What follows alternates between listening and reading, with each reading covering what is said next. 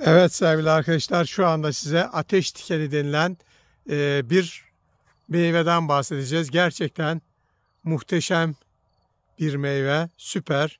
Şuna bakın şöyle. Şunun güzelliğine bakın sevgili arkadaşlar. Muhteşem ötesi. Merhaba sevgili arkadaşlarımız. Şahin Video kanalımıza hoş geldiniz. Allah'ın rahmeti, bereketi üzerinize olsun değerli arkadaşlar. Bu bugün sizlere faydalı bir meyveden bahsedeceğiz. Bu görmüş olduğunuz çok şifalı bir e, meyve arkadaşlar. Kızılcık deniliyor, ateş tiken deniliyor. Gerçekten muhteşem faydalar var. Özellikle içindeki C vitamininden dolayı, antioksidandan dolayı ve kalp sağlığını koruduğundan dolayı boğaz enfeksiyonlarını iyileştirdiğinden dolayı birçok hastalıkta şifa olarak kullanılıyor değerli arkadaşlar. Gördüğünüz gibi e, gayet bol miktarda var arkadaşlar muhteşem bir meyveleri var.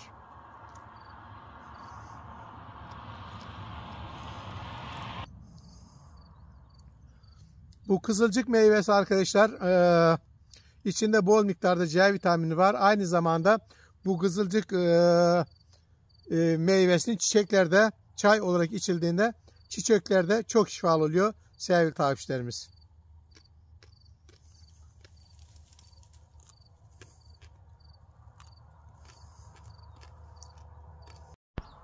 Bu meyve değerli arkadaşlar özellikle yüksek tansiyona birebir şifadır.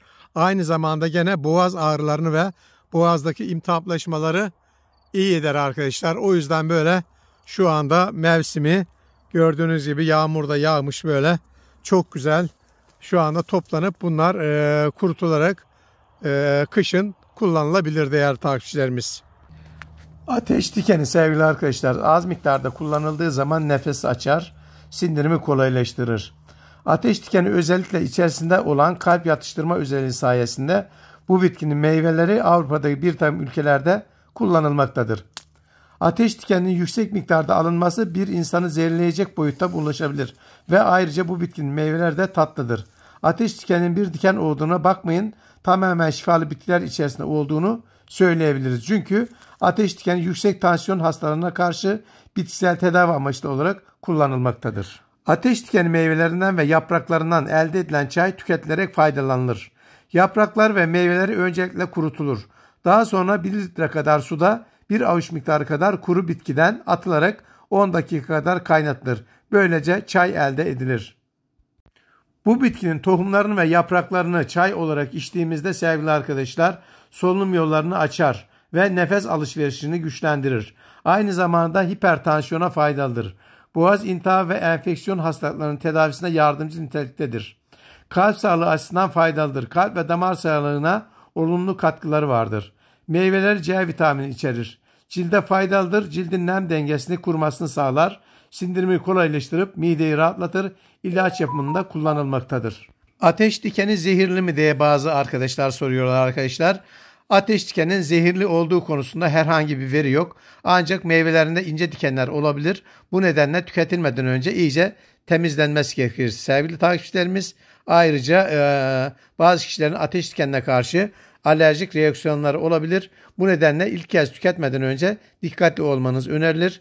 Meyvelerindeki tohumlarda nadiren bazı insanlar için hafif toksit etkiler neden olabilir. Bu nedenle aşırı tüketilmeden kaçınılmalıdır. Ayrıca doktora danışmadan kullanmamanızı öneririz sevgili arkadaşlar. Her insanda farklı etkiler gösterebilir. Mutlaka doktor danıştıktan sonra çayını ve meyvesini kullanabilirsiniz. Ayrıca sevgili takipçilerimiz ateş dikeninin sirkesi de çok güzel olur. Hem yemeklere lezzet katmak için hem de sağlık için çok önemlidir. Sirkesini nasıl yapacağız? 2 su bardağı taze ateş diken meyvesi, 4 su bardağı su, 1 su bardağı elma sirkesi, 1 çay kaşığı toz şeker isteğe bağlı, Hazırlanışı sevgili takipçilerimiz meyveleri yıkayın ve ince dikenlerini temizleyin. Daha sonra meyveleri ince ince doğrayın ve ezin. Bir tencereye 4 su bardağı su koyun ve kaynatın. Kaynayan suya doğranmış ateş dikenlerinin meyvelerini ekleyin ve 5 dakika kadar kaynatın. Suyu ve meyveleri süzün ve sadece suyunu bir kaba alın. Daha sonra elma sirkesini ekleyin ve karıştırın. Karışıma isteğe bağlı olarak toz şeker ilave edebilirsiniz. Hazırladığınız karışımı temiz bir cam kavanozu dökün ve kapağını sıkıca kapatın. Kavanozu güneş görmeyen serin bir yerde 2-3 hafta boyunca bekletin. Sirkenin fermente olması için yeterli zaman verin. 7 ila 3 hafta sonuna kadar sirkeniz hazır olacaktır. Sirkeyi süzün ve temiz bir şişe alın. Ateşliken sirkesini kullanmaya hazır hale gelmiştir. Alıca bense de benzese de değerli arkadaşlar bu alış değil. Ee, kızılcık familyasından böyle çok meyveli. Genellikle bunları parklarda falan görüyorsunuzdur arkadaşlar. Ama tabii parklardan falan bunları toplamayacaksınız. Böyle doğadan, doğada olan temiz havası olan yerlerden bunları temin edebilirsiniz değerli takipçilerimiz. Yaklaşık boyu 4-5 metreye kadar uzayabiliyor sevgili arkadaşlar. Evet bu bitkiyi parklarda veya bahçelerde de görebilirsiniz. Süs bitkisi olarak değerli arkadaşlar. Ancak e, doğada böyle doğada da var. Doğadaki temiz olan oksijeni bol olan yerlerden toplayıp e, yol kenarı olmayan egzoz e, ve fabrika artığı olmayan yerlerden toplayarak sirkesini kurabilirsiniz. Toplayıp kurutabilirsiniz. Çayını yapıp içebilirsiniz kompostasını yapıp içebilirsiniz değerli arkadaşlar. Yalnız dikkat edin dikenleri elinize batmasın. Mutlaka eldivenle toplayın çünkü içinde küçük dikenler var görmezsiniz ve elinize batar. O yüzden dikkatli olun. Evet sevgili arkadaşlar bir videonun daha sonuna geldik.